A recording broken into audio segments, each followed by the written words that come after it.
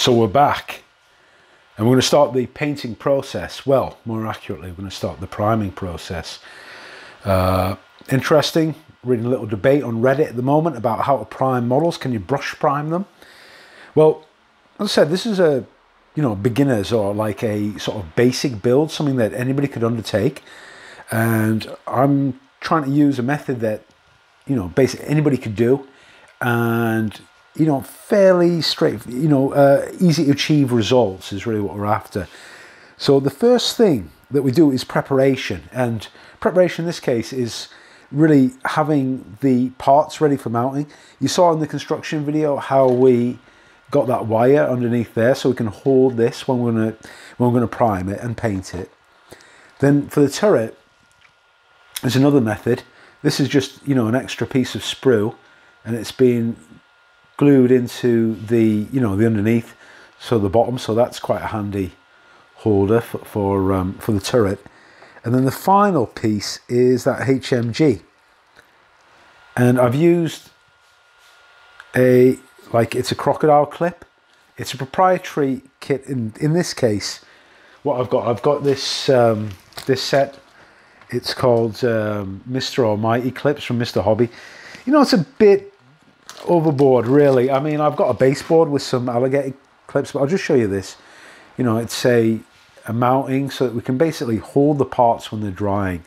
And that really is handy. But I'm going to show you another way to do this. This is really, you know, let's let's keep it let's keep it really basic, okay? We've got a box, okay? All we need is a scalpel. Let's just get a hole inside here. Make a hole.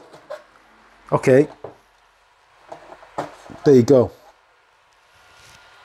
That's it, as simple as that. Yeah, uh, I used to use um, actually styrofoam or, you know, that packing sort of foam that you can just push these things into. That works just as well as one of these, you know, and these things are quite expensive as well. But um, just show you some things. And also, if you haven't got the alligator clips, what you could do, you could actually take a. am going to show you that as well take a toothpick and just super glue it onto an attachment point just on the bottom and then you can just snap it off after you finish priming. And then we've also got a glove on, we've got the gloved hand. I don't want to get spray paint all over my hands basically and it's pretty good practice um, because you're going to be touching things and you're going to probably upset people as well if you touch uh, maybe the walls with some paint yeah so that's going to protect my hand from when I'm, I'm painting. And then I'm going to go through the primers. Now these are, again, this is that Mr. Surfacer primer. This is a sprayable one. So this is a bespoke primer. And it's expensive. It really is quite expensive to buy. Here's another one, 1200 Now these are my, they used to be my go-tos. I used to buy these non-stop, yeah? But they are expensive. So in our case, we're using some automotive, uh, in this case Halfords, which is like a, uh, a brand in the United Kingdom. And this is just matte black spray paint. We want matte paint for this primer. It's not a primer, it's just matte black spray paint. And okay, this was a bit expensive, about eight pounds, so like, you know, uh, nine dollars. But you've got a huge can, yeah? It's going to get you through quite a few models, yeah?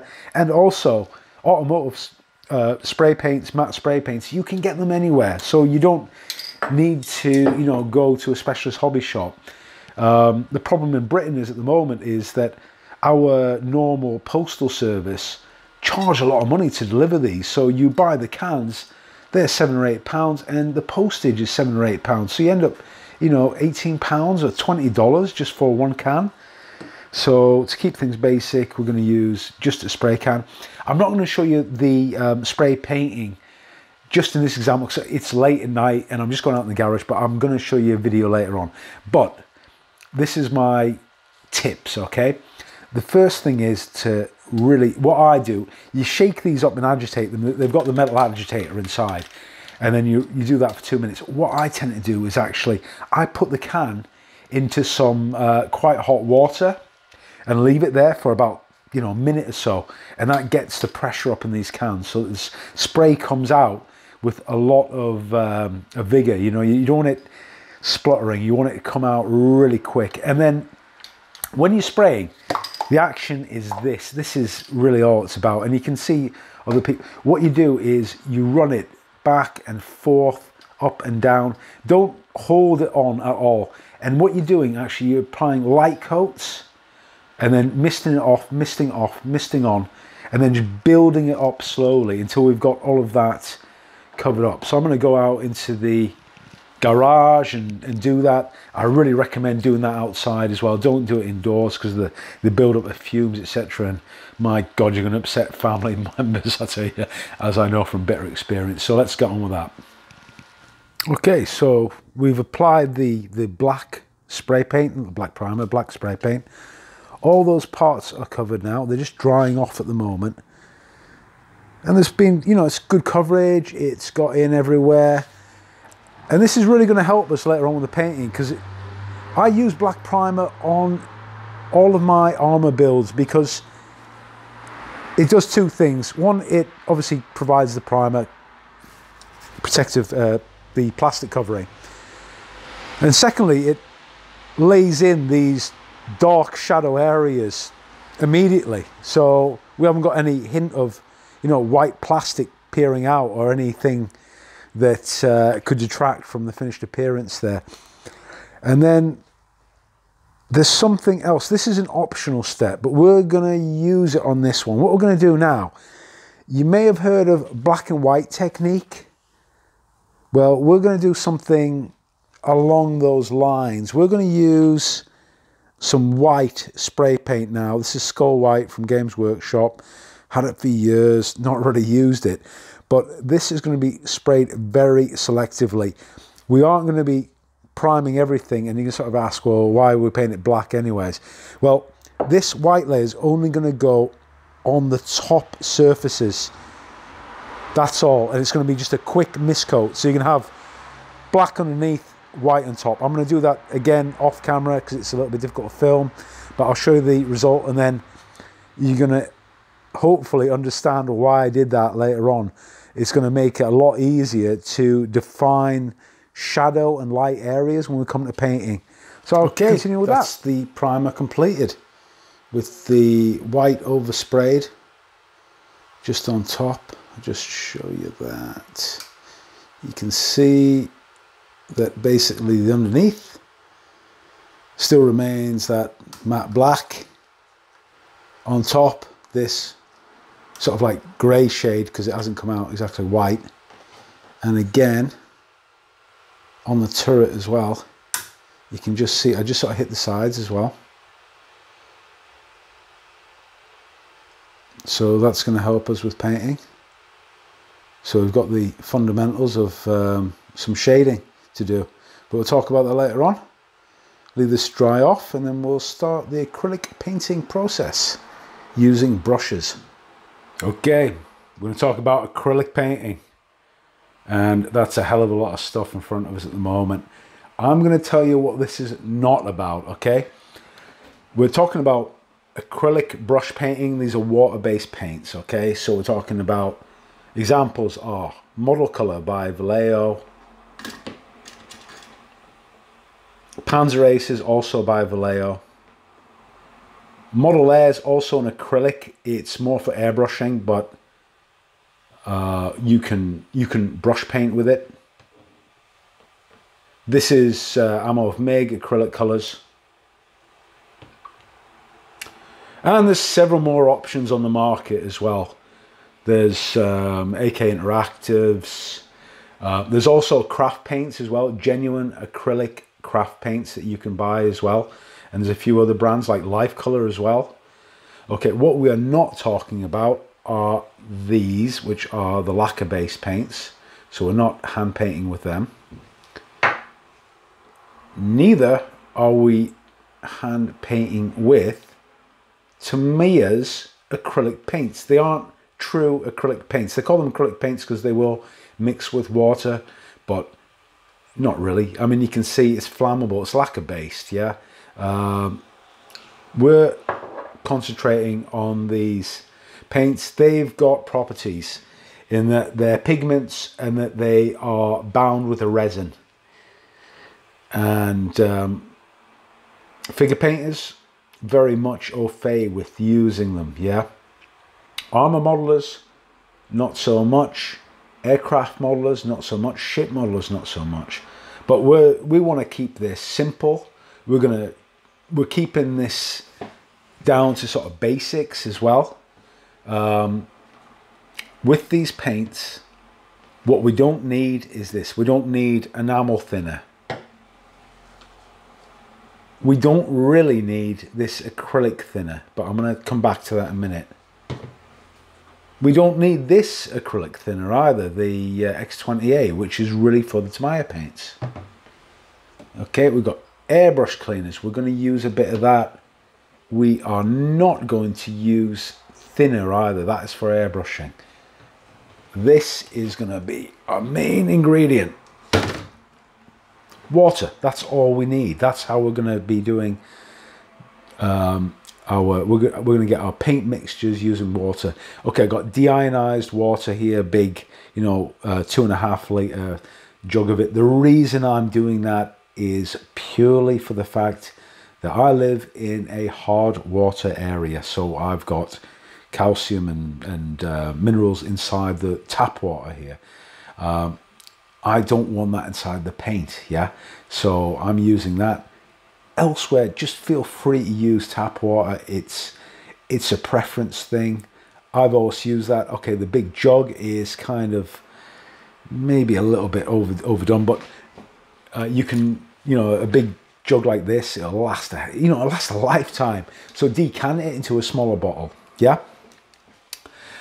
Ah, okay, one other ingredient that we're going to use is something called a flow aid or flow enhancer. And this one's a Liquitex one. And you can get them for um, Vallejo as well, do their own, this flow aid. And this, what this does, is going to break the surface tension when we apply the paint. But I'm going to come to those details later on. And we're going to need, obviously, some other things, which are the paint brushes. Now, we've got a small scale model here, yeah? So we don't want brushes that are too big. Yeah, neither do we want these. We're going to come back to these. Okay, these are Winsor Newton Series 7. These are fine sable brushes. They are beautiful and I've had them a long time. I bought a lot of them thinking that they were going to wear out quite quickly and I'm still on my original set. They are unbelievable. But we're not going to use them for base coating. We're going to come back to them later on. The fact is, acrylics are harsh on your paintbrush, yeah? And more so, when you're using these fine brushes against the texture of plastic, you start to wear them down quite quickly. So really what we're doing is we're going to be using cheap brushes, yeah? Nylons or uh, synthetic brushes round brushes, you know, with quite a good tip, good finish, that can give us coverage because we're just applying a base coat. So we just want coverage. Yep. And we also need a palette as well. So this is what I've, uh, you can get, you know, you can get your um, artist palettes, etc. This is what I'm using. I'm using these uh, disposable plastic plates. And I've been doing that for quite a while now when it came to acrylic detailing. Uh, and later on, I'm going to show you how to do a white wet palette as well, which is really straightforward. But um, you know, this is this is just common stuff that's easy to obtain. So really, what we've got our ingredients are acrylic paint, uh, water, water for the thinner, brushes that are appropriate for the model, and this is what one thing most guys leave out we want a really good light source on what we're doing here. We want either a, like it's a bit obviously cloudy today, so it's not great. You want a good light source when you're painting, you really do. You don't want to be straining your eyes. And we aren't going to need this at the moment, but an Optivisor is really what I, is one of my choice tools for detail painting. Don't need that at the moment. Then we just need some containers as well. Okay, we're going to use one of these uh, with, as I mentioned earlier, some airbrush cleaner. These are all alcohol sort of base things. Yeah, airbrush cleaner, the thinner, etc. It's all basically the same. Just make sure it's acrylic uh, airbrush cleaner. or acrylic thinner, okay? And the only reason we, we're not going to use that per se to, um, to mix the paint with. All we're going to do is keep our brushes clean, yeah? And then uh, you need your Princess Party cups, of course. No, you don't. All you need is um, any other container, okay? Be it a plastic cup, paper cup, disposable cup, with which is going to be filled with uh, good old H2O. And that again is going to be used to clean off the brush consistently. And there is one other ingredient as well. We need simply a piece of white paper that I'll show you later on. And that's really all we need to, to get this uh, process going. So I'm going to show you now, step by step, how we make up that mix of paint and how we apply that base coat on the model. And uh, just bear that in mind, yeah, that we don't need that other stuff, okay? Don't get, don't get too confused about it. Ask questions all you like, but this acrylic, this tutorial, this paintbrush is about acrylics. And the reason I'm using, well, the reason I am brush painting is, one, I've never done that before. I've always used an airbrush, but we're a beginner build here, okay? Not everybody has an airbrush. Not everybody is going to, you know, go out and spend up to $200, $300 on um, airbrushes and compressors when they're starting modeling. They're going to be brush painting. So results can be achieved by brush painting. Well, I sincerely hope so as I experiment, yeah? But we'll see what results we can obtain. And acrylics as well, they are non-toxic. That is really one of the reasons that we that we're using them. They're easy to clean up. Yeah, we don't need to use any of these harsh. Um, uh, let's. Well, I'll show you an example. Is basically sort of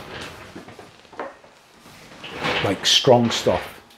Yeah, strong like the sort of uh, solvent-based cleaners, xylenes. Um, Here's another one.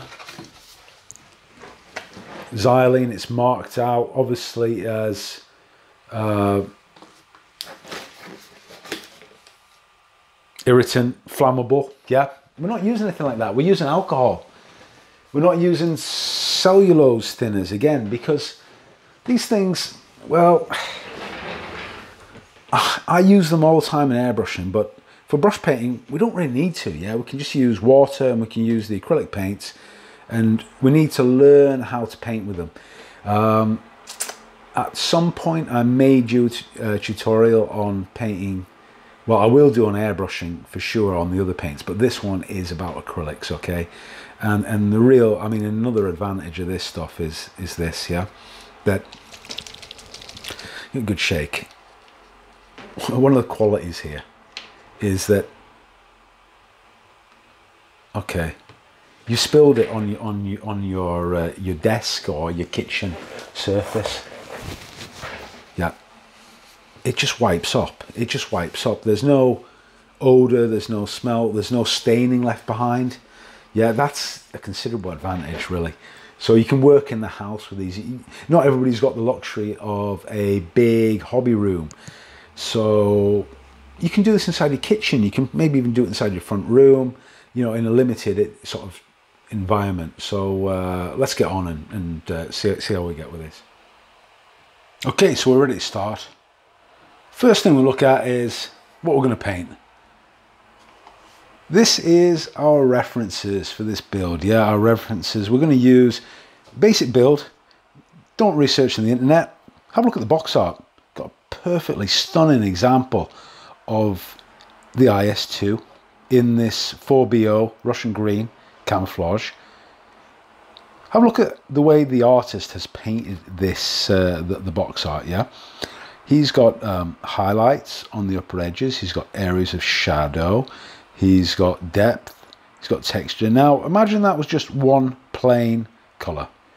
Yeah, it wouldn't be that interesting, yeah? It's, um, it's got feelings of light and texture on it, yeah? But principally, no matter what, that tank is green, okay?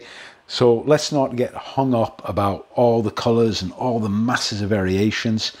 And to keep it simple, okay, we've got a green. It's NATO green. It's a green color. Okay, that's going to be our base color for for this tank. Yeah, and we may lighten it with some white for the highlights, or some of this sand sand grey color as well. The other dominant color is of course the tracks. Yeah. Now, the instructions will call these out in steel or metal or something crazy. Yeah, don't. Uh, keep them like a browny black, like rust color, really is your best option. So we've got a, a, a uh, dark brown rust, yeah. Whatever you have to hand, use it, yeah. For Don't go out and and, and buy stuff just for the one kit you want to try. See what you've got. Even if you if you're going to get your craft paint, just get a green and a brown. That's a green, brown, and a white, and that's probably all you're going to need for your first build. Okay, so we've got everything set up in terms of paint, and you don't. The first thing to do is to really give these a good shape. Get them. These ones from Ammo of Mig, they've got the agitators inside them. Now these are designed for brush paint and for airbrushing. We're diluting ours and you don't need big quantities. You only need a couple of drops, yeah? And then we've got some H2O, the water. And all we, all we need again is a couple of drops, yeah? About, so we're doing about 50-50 ratio, which is going to thin down that paint. Mix it together, it starts to run. Yeah? Are you happy with that green? You may, at this stage, think, no, it's a bit too dark. I want it lighter. Okay? We won't, we'll tackle that a bit later on, right? Second point here, offload the brush. Yeah, offload the brush. It wants to be, how would you describe it? Damp, not wet and let's apply the first coats of paint. Yeah just using smooth brush action. So just start laying on the paint just gently. You don't want it to sort of flood or you know be so thick that it covers everything. You want that transparent look to it. That is really what you what you want for your first coat. Too many people will try at the very first go to get 100% coverage, and that is going to obscure all the details. You're going to lose all the, you know, this pre shading technique, and you're going to find it frustrating as well because the paint will. It will be unsatisfactory in appearance, yeah. So obviously the trick is here is um, figure painters call this um, blocking in. Yeah we just need to cover everything. And that's why you know spray can spray cans as well is another great method of just getting full coverage cheaply. Um, but this this is um, it's going on really nice. The acrylic paint as well because it's water based dries very, very quickly. So as you're applying this first coat, this base layer on, the stuff that you lay down before is sort of drying out. And I think some people even use a hairdryer to even speed up that process. We don't have to do that. We, have got plenty to paint here. You see, see, how fine? Let's let's sort of zoom in and, and uh, have a look. Yeah, it's you can still see through it. It's transparent. Yeah. And more so on where we've got the the dark the dark shade as well. Yeah. You see it beating up. Yeah. That's because that paint the is slightly glossy. So it's having trouble breaking the surface tension again, don't worry about it too much. You don't want pools of it. You need to not have it sort of clumped together, or else you're going to get a very poor appearance um, and surface. But move the paint all over. Don't worry about it. come back to it later on when it's dried off and then you're going to hit another layer. Simple as that. Yeah, just make sure you offload that brush every time. Figure paint figure painters they, they cover very small areas at a time and I've seen them using their nail as a palette. Can you believe that? Well, we, have got a lot of um, not a lot, it's a 172 scale model. We've got some areas to cover. It's going to take a while, but over time it's going to build up. I just think it's important to point this out because it would be great to show you how it's going to look, you know, finished, all covered in green paint. But a lot of people don't realize that the first few coats are going to be like this. They're going to be very thin, very thin layers. And um, it's going to help with the, we're going to get that shading appearance as well because we can we can see what we're we're wanting to achieve. We already know the light areas and the and the darks. So I'm going to continue on with that. I'll show you this, you know, a couple of more layers as it sort of builds up, but and then I'll I'll tell you how many it takes to to get that coverage. Yeah, okay, I just thought I'd show you where we are with the turret. That's about, if we can get this in focus, that's about three coats of paint on there. And uh, it's looking reasonable. Coverage is getting there. It's going to need a couple of more coats but uh, there's no brush marks or anything. The cast texture is looking quite good there as well. And I'm quite happy with, with that colour. You know, as the base colour, the base colour green's good. And then about, I think I did about two coats on this, so this needs a few more. The difficulties that you do have with with the paint is it's trying to get into little nooks and crannies, yeah? And in such a case, what you do is you take quite a watered down mixture, you know, like even more dilute than possible, and just apply it as best you can. And it'll take quite a few applications, but it's the best way to get it into all those little areas. So it is a bit wet. It's not like a dry application I was doing doing before, but you can see that the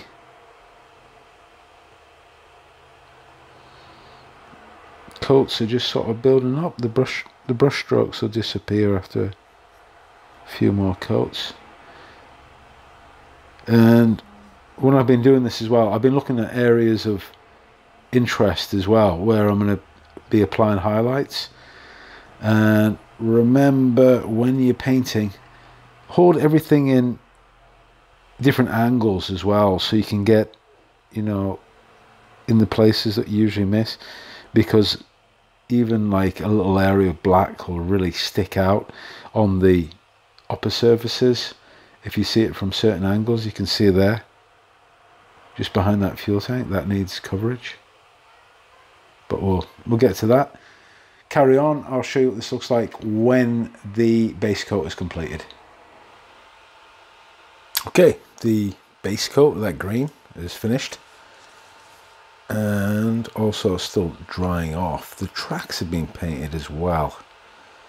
So you can see it's quite a good coating on top. The tracks are brown, not the neatest job, doesn't really matter. And you can see that some of the brown's go on the green, the green's on the brown of the tracks, but they're basically covered. For the tracks, I use this um, dark tracks color from Ammo of Mig. Or just use a brown or use a brown and black or use what you feel would work for you. Turrets coated and covered as well. Paint's dried in sort of matte, uh, satin type of sheen on at the moment. Now, on the box art, said some highlights, bits and pieces. So what I've taken is the green and some matte white. And you see here I've taken one drop of green. Basically I'll show you this again. Okay a drop of white. Yeah. But the secret here is don't paint that on at all. You need to go back to these layers these really dilute layers. So what you're doing is you're adding water quite dilute this time mixing it together and it's really you can see it's like a what well it is watercolor it's acrylic. It's really thin mix. Look, look at this you see on the paper you see. It's just translucent. Yeah. Okay and this is going to go onto highlight areas. And it's going to take quite a few coats to do it. And then also I'm going to show you this on the turret side which is one of these mm, not difficult sort of strange areas. I tend to paint these in terms of contrast. Half the bottom will be the dark shade and the upper half will be the lighter shade. So what I do I start working in the filter it's like a filter color on top and instead of like painting it I sort of stipple it on and let it dry okay I'll come back and show you how that looks when it's dry we'll do the detail painting so that's the highlights applied. Uh, you're going to see it's a bit scruffy. And actually, that doesn't matter too much. Yeah, you can see there's like, it's a bit overdone in some areas. Yeah, but if you draw back a little bit, yeah, say about there, you can see that all the edges have sort of been hit with a certain highlight and it's randomized the paintwork somewhat. And it's got away already from that toy-like appearance of having the the one color and it's placed us in a good position for further highlights later on. Okay. And I'll just show you the turret again quickly. Same same deal with the turret. And some of the panels have been sort of drawn out. And you can see the sort of stipple on there using that um, lighter colour so really already there's some visual interest be it scruffy or otherwise yeah? Now we want to make some details pop. And on these tanks they have got the Pioneer tools, uh, mainly that you can see the saw there and that spade, that recovery hook and we're going to other paint some of the details. All we need is now a few colours. I use this basically dark flesh colour as the um, colour for the wood on the Pioneer tools on nearly everything I paint. And I use this, uh, it's a model air colour. I, I don't even, um, do they do it in model colour? I'm not too sure, but I've always used this model air, so it's already thinned. Camo, black, brown, just get a brown, a brown and a black and mix it together. You've got the same sort of thing. I use this as the undercoating colour to everything metallic. So that is going to be uh, those tracks, the spare track links on there. Uh, the exhaust possibly. I need to check to see if they're going to be rusty or otherwise. Certainly the recovery chain, the tow hook, and the sort of digging part of the spade. And oh yeah, we also add the wood to those to the uh, MG to the spade grips at the back. Can't get that focus at all. Uh, what else do we need? We're going to use this colour. I don't have a matte black. I've got a satin black at the moment.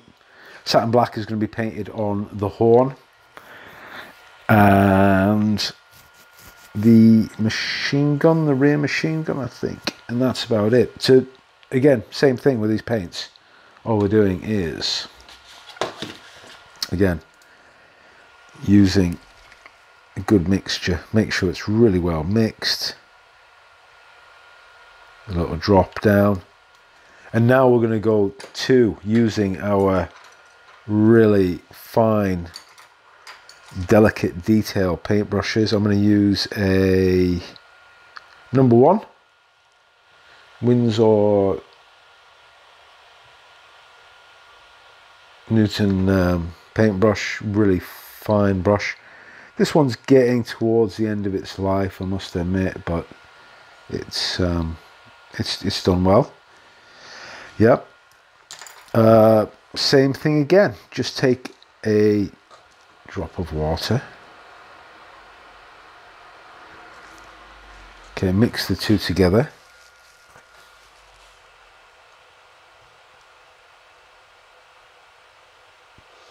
Take off the excess. And let's see if we can do this. Live mode. Yeah.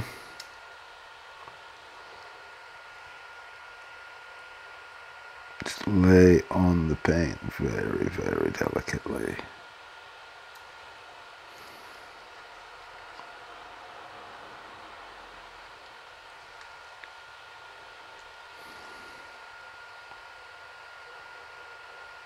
Just build it up, don't blob it on. Once it's dry, go back and repeat another layer.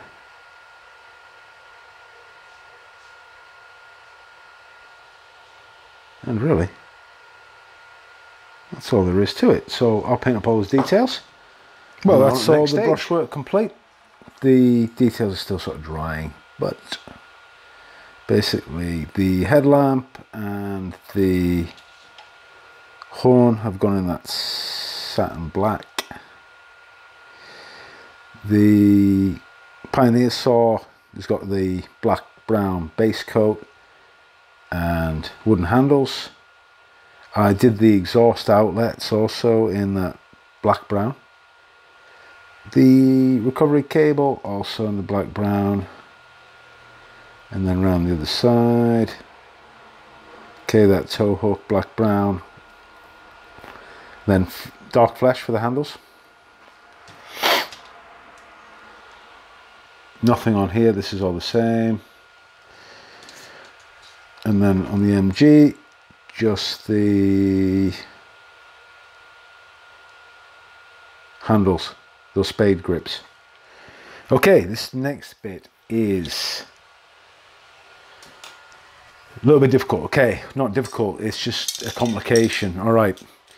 The next thing we're to do is we're going to apply a gloss coat on top of this. Yeah, a gloss coat, seriously. No matte coat at this stage. We're going gloss, uh, gloss over everything, the tracks, the lower body. Um, the only thing that I'm probably not going to bother with is the MG. Um, two reasons. One, I had a rethink. Zvezda kit, out the box, building's been great. Why don't we just test out those decals. Why don't we try out and see if we can apply those decals because well we need some practice at it yeah? We're big we're a beginner's build. Sorry about the dog barking. And uh, let's see if we can get them to work even over this difficult surface yeah? Let's see if it, so we want a gloss background to that. Also we want to protect all that paint work and really the weathering is going to use gloss um, to help with certain effects. Okay, so I'm going to give it a gloss coat and then um, show you results and then we're going to start weathering in earnest.